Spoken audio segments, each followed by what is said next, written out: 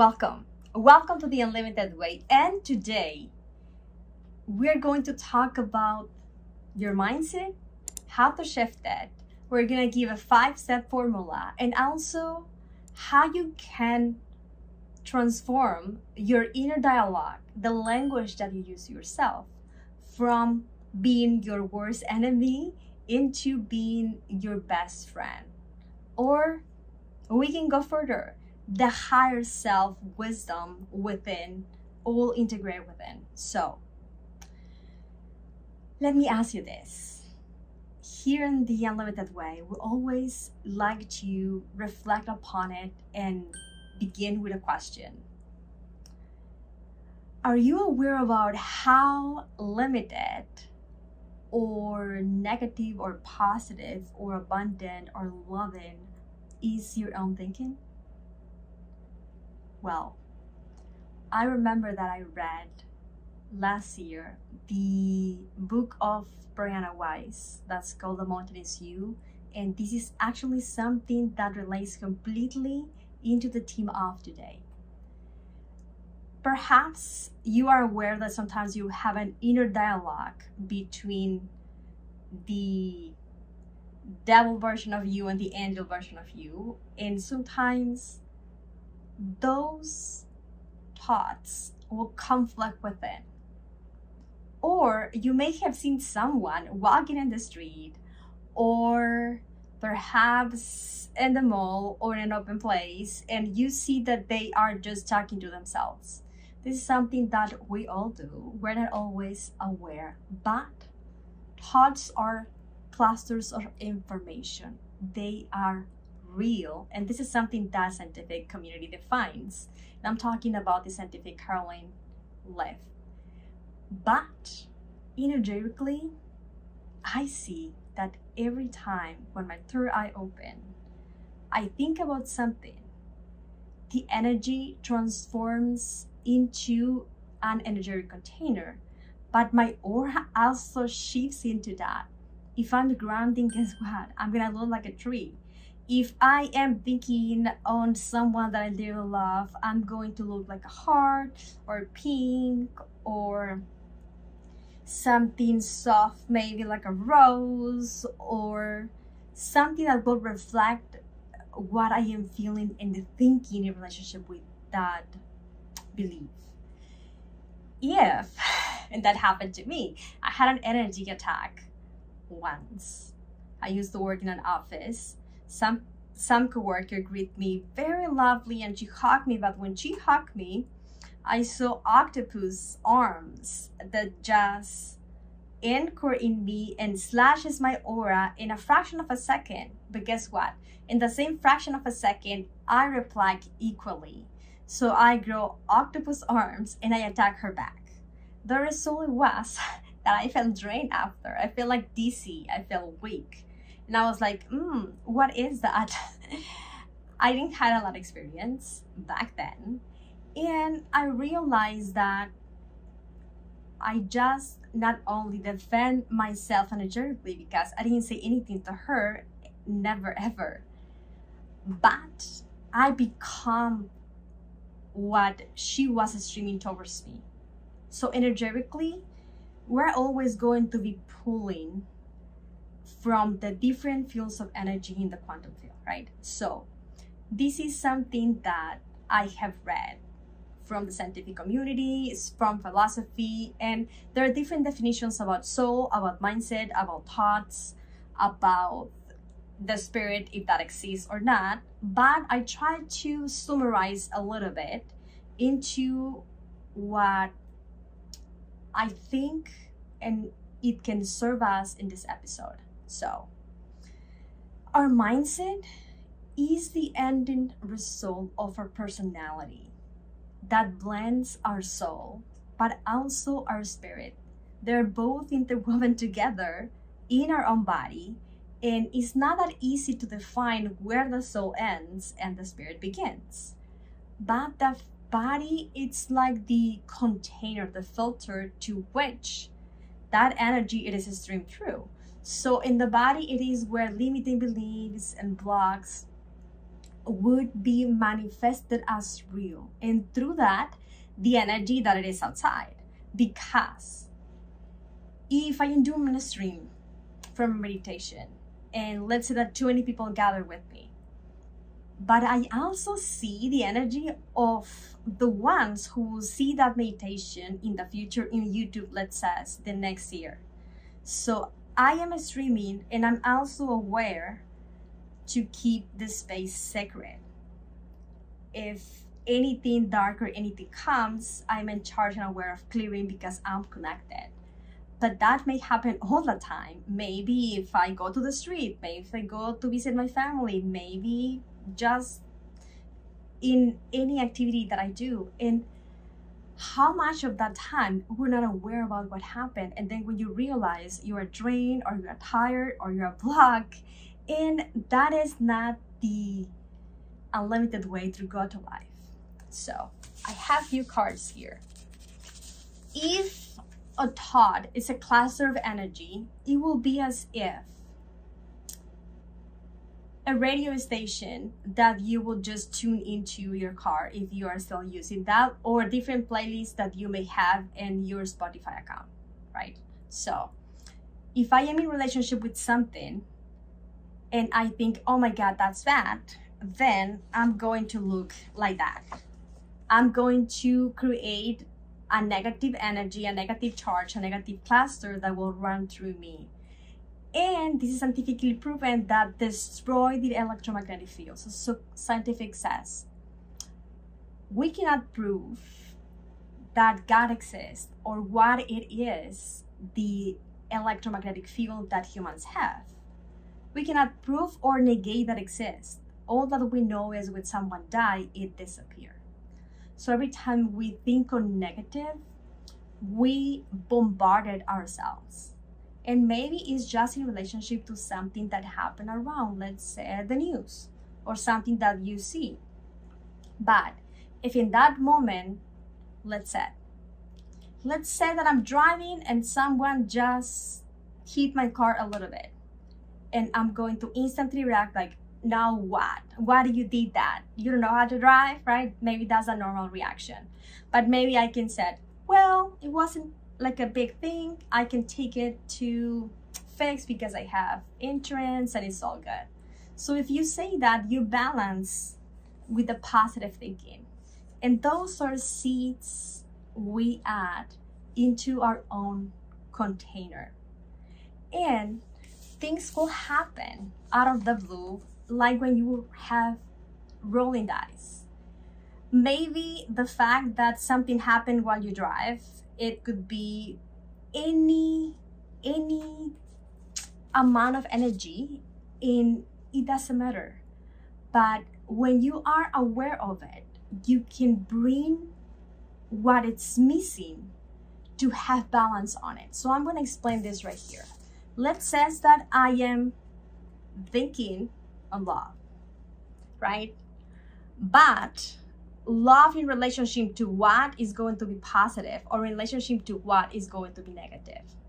So maybe I said, I don't like love when it is obsession. And that is a valid statement. But if you notice you say something like that, because the language that you speak, it's very important because it's the one that defines if that is a positive or a negative experience in you. If I said that statement, I don't like love when it's obsession, but I do like love when it's uplifting or in higher frequency. So if you end your statement with the necessarily belief that adds balance on it, then you're going to be in harmony with all that arises. But when you say, I'm not love, for example, what happened is each word is going to have a frequency that is going to stream through you. And even though a thought is going to be invisible, is very visible in you. Because maybe you can get upset with someone, it has happened to me, and then you have a stomach ache. Or then you get sore in your throat or you get headache because something happened you get stressed out and that happens because your mind will look like that it will be busy with a lot of things that we are running but the emotion is the effect in motion through our own belief system that will be reflected as the positive charge or the negative charge. When you have a positive thought, this scientifically proved, you begin to repair all of the areas in your electromagnetic field that you destroyed before. And if you are a psychic person and believe in inner healing and do your work, then you are going to be always looking for that method or formula process to be in your own alignment. So this is a formula that I have come out to use today. So if you are aware that there is something that you dislike, that you react negative, that you feel limited, that you just like, oh, can't stand it. It could be a person, it could be a situation. The first step, it is to be aware about what it is exactly that you need to transform. And you have to discern because sometimes the reason of the problem is not what we think. Like, for example, oh, I'm late because it was a lot of traffic. No, I'm late because it didn't took enough time for what I needed to do to get into where I needed to go, right?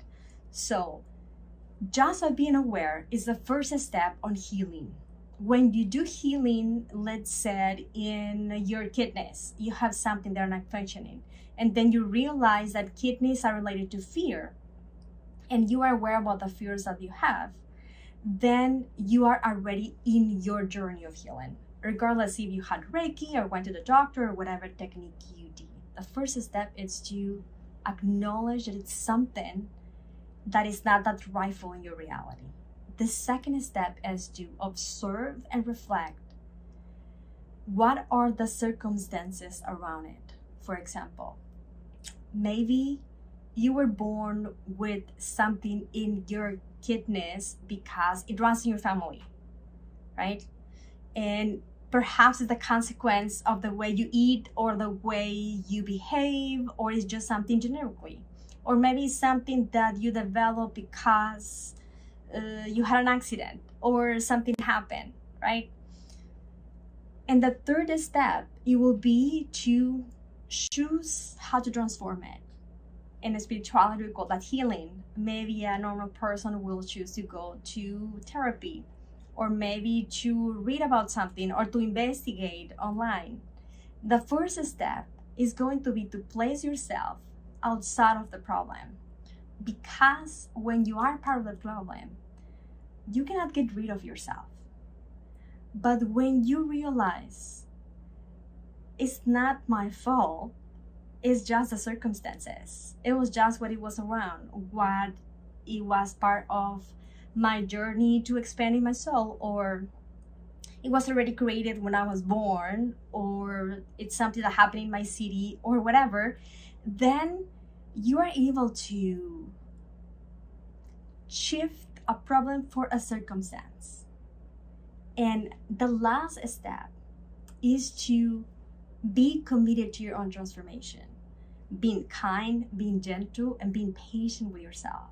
Healing, it could come instantly in 20 minutes, or it may take years or months. It depends on how much you are allowing that aspect to shift.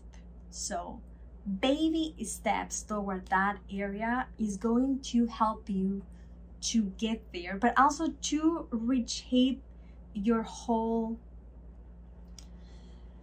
programming energetically, emotionally, mentally. And just to summarize, between me and my desire, I can be my own block. In fact, one of the greatest fears it is the fear of being happy because it may not last. So I may not have it because if I have it and lost it, then it will hurt so much. So I would just hold myself. And it's something that you never expect that fear of being happy or having whatever you want, it will be one of the greatest resistance that will be something that block you from having that. But that will be unconsciously because if we use a tree or an iceberg, all of the roots for that distortion will be in the unconscious. Because if we would be aware of it you fix it. Let's say that you were doing a tea and accidentally you add salt instead of sugar. You will throw it away and then we'll make another one instantly. But if you're unconscious about it you will drink it and say mm, something happened to the tea today? I don't think i quite like it. So in the subconscious are all of the answers for whatever we feel limited, blocked, or in need of a shift. First step, being aware of what you want to shift. Second, reflect upon it. Notice how do you react when you are triggered. Do you get frustrated? Do you get all over the place? You get anxious? Do you just get paralyzed? Do you react defensive? Because when you know how do you react, you can find an antidote. Let's say that I react being controlling. If I react being controlling, then my antidote is going to be flow and just be with whatever arises. And, and then ask myself, today don't plan anything, Grethel, just go with whatever it is. And that could be the fifth step to do everything daily once I know how to react and what is the antidote, for example if I have anxiety, then I need to have calm. If I worry, I need to have faith, right? If I feel insecure, I have to feel safe. If I am upset, I need to find peace, right? So, whatever it is, the feeling in the negative opposite of you that do not serve you, then what is the antidote for that? And that is the simple answer to your healing. And that is the shift that happens here. And when you put yourself in a separate position to your own problem, you begin to have empowerment and you step into the autonomy that things happen, but I can rectify it like equally as if I accidentally add salt on my tea instead of sugar and I can just make another one. No big deal. But we make the big deal because it's part of the programming, it's part of the illusion. But underneath all, depending on your soul or your spirit, if you're an old soul or a star seed or an ancient soul or have ascended 25 times, this is the temporary journey for us to learn something. So, destiny won't be just having a tea, right? Will be enjoying my tea. And maybe one day saying, I don't want tea today. I want juice or coffee or hot chocolate. So every choice, the journey itself is the ultimate ending. Don't take things that personal. This is something that my guys said to me Grethel, life is overrated. And I'm like, mm. so just go day by day. Whatever it's easy, that is the next step. When you set your action plan daily to do just a little bit, maybe an affirmation, maybe a meditation, maybe a breathing exercise, maybe a habit to change that to change, but more than to change, to create foundation for where you want to go, then going there is going to be easy. And I want to share this story. I was reading about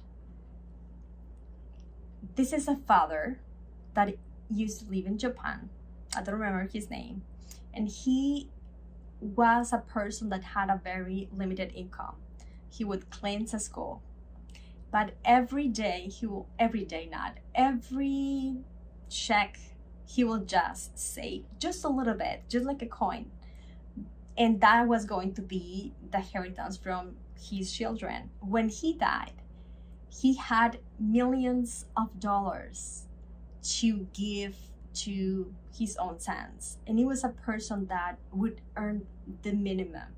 But it was because he had consistency and he was disciplined on I want to save, I want to save, I want to save. So it doesn't matter if he was putting a thousand dollars, a hundred, or just a penny.